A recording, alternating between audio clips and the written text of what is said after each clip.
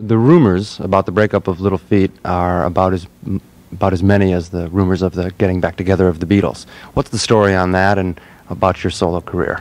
The band had been together about 10 years, and everyone was feeling um, everyone was feeling like th- they wanted to try something on their own without my input or anyone else's input. And that started to happen oh about 2 years ago, I guess, 2 or 3 years ago. And what what took place was uh, we, you know, we just sort of went our various ways about three months ago.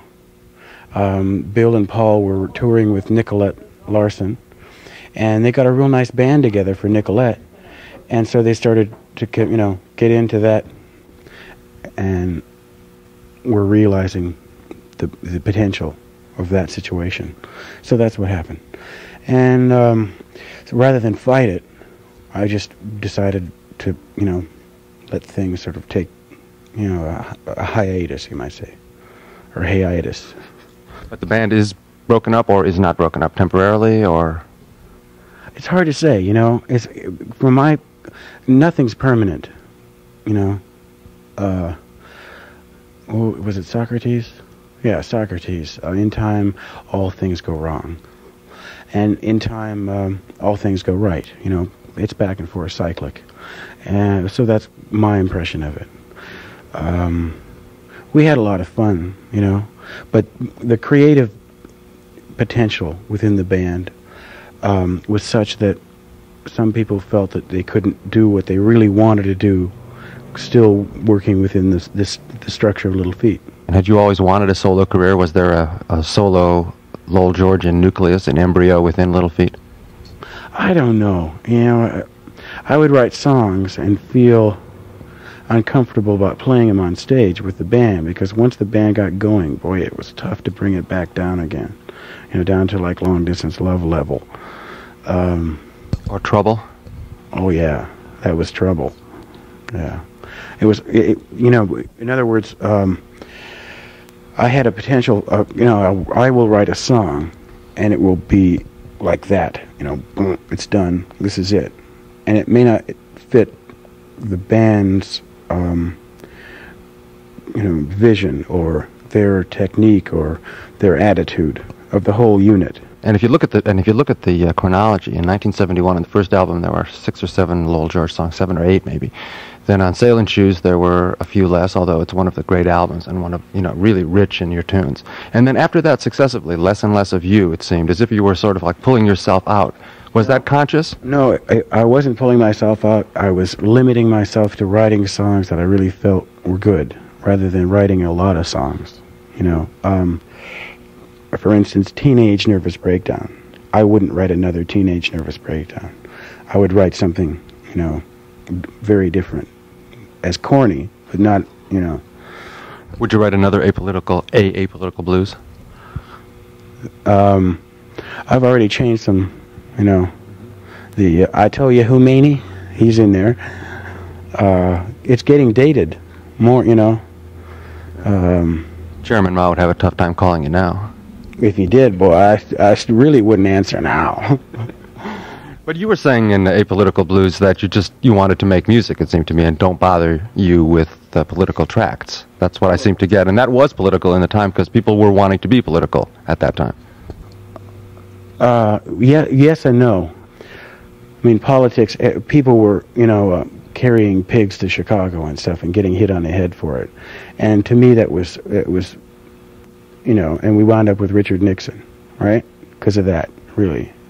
I mean, um, it was a very strange time, and I really wanted to stay aloof from it. I mean, the war was, I mean, a tragic war, and it was really a burden, a real spiritual burden on me, and I really wanted to pass right through it.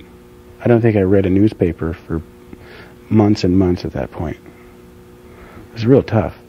There's an impulse uh, encapsulated in the line. I wish the world would get off of my case and get on one of its own, something like that. It seems that you have, like that goes through your life, doesn't it? Well, yeah, it, yes, it does. From time to time, I will, I will recede from circumstances and sort of let things fall where they, like the group, for instance, it, the the uh, chips fell where they did, and um, I didn't scramble to make an effort to gather them all up and force it to happen again. Uh, people said, "Well, I'm quitting, and that's the way it is." And I went, "Okay," you know, and they were wondering what I was up to because, you know, what's he up to? What's he thinking? And when in fact, basically, all, all I was thinking is, it's time for that to happen. In time, all things go wrong. You're starting a solo career after a very successful but not star-studded uh, group life of some almost the entire 1970s. You are emerging from a band that should have been much more, based on its merits, should have been much more popular, should have been stars years ago. Um, give me your thoughts on why Little Feat wasn't stars and how you see your solo career. Uh, okay. With with that question, I'll ask you a question, which is why wasn't Charles Mingus a star? You know, why?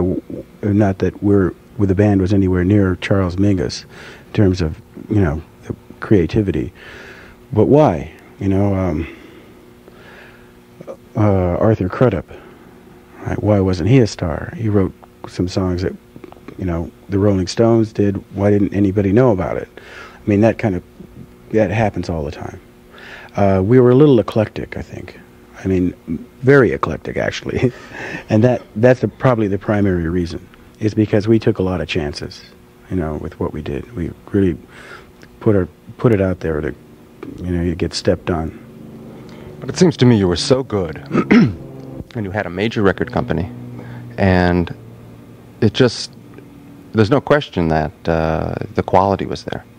But uh, it just seems to me that when when people that were an eighth as good as you uh, and doing you know fairly similar kinds of things, you know, in a certain sense, mm-hmm. uh, did become you know trillionaires and so forth. That Little Feat didn't, and here are dissolving before the average person knows the name Little Feat. You know, the music lover, of course, does know it. You're mo- you're more than a cult. You were more than a cult.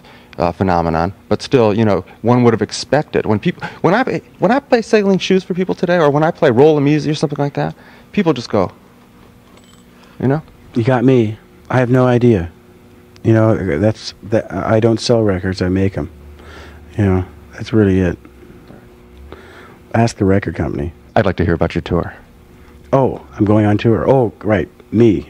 Lowell George is a solo artist. Um, well, well, let's see. About '75, the group broke up for two weeks.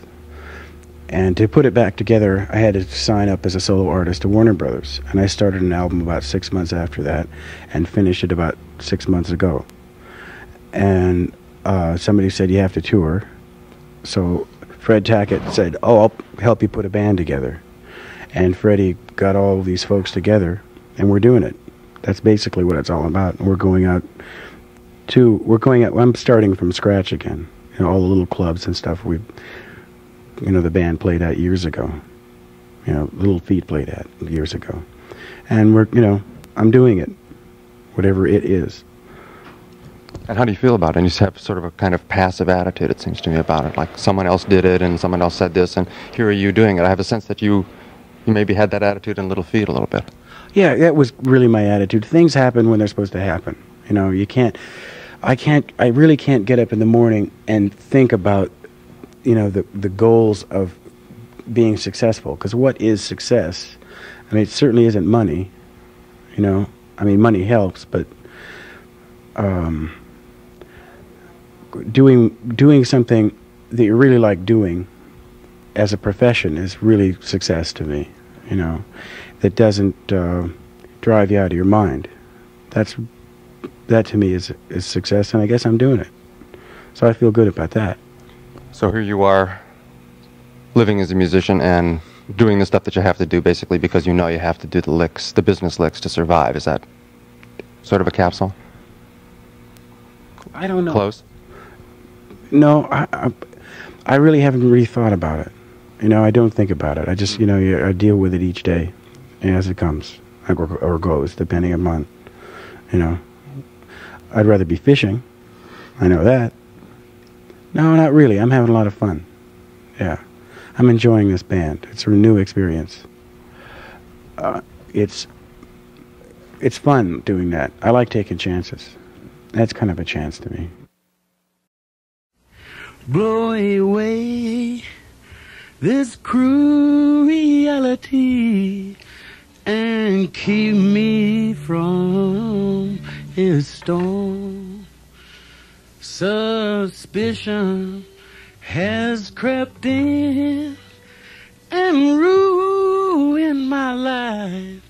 I'm messed up and hassled and worn. Well, it's pure indignation.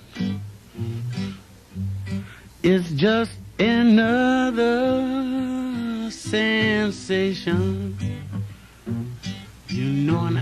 Like to knock on that door. But the boy, he keeps on calling for more. Yes, and my sweet China White, she ain't here tonight. And that love has robbed me blind. Said, cast away, cast away from this boat full of pain, for it sinks beneath the waves. Yes,